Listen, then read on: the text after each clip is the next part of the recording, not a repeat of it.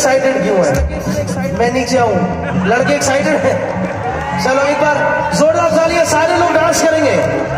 one two three मेरे रश के कमर तूने पहली नज़र, मेरे रश के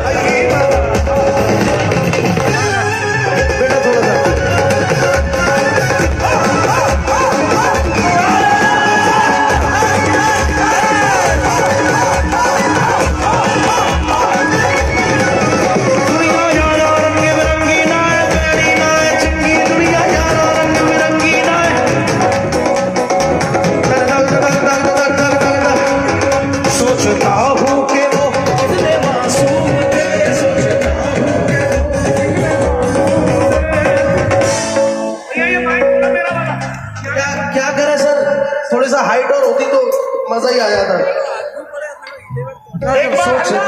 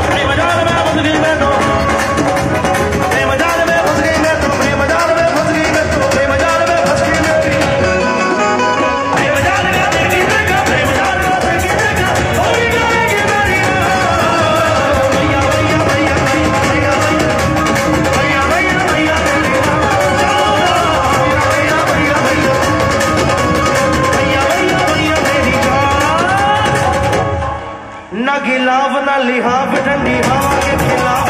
ससुरी